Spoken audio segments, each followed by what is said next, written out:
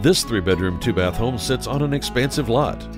Upon entry, you're greeted with cherry hardwood flooring, showcasing your freshly painted family room. Your kitchen features custom cabinetry and upgraded appliances. Your oversized backyard is complete with mature fruit trees and a freestanding workshop. Pick up the phone and call Rio Wilhelmi and Brian Wallner to schedule a tour today.